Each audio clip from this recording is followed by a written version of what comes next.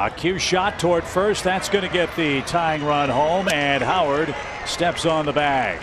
So the Braves cash in the gift run.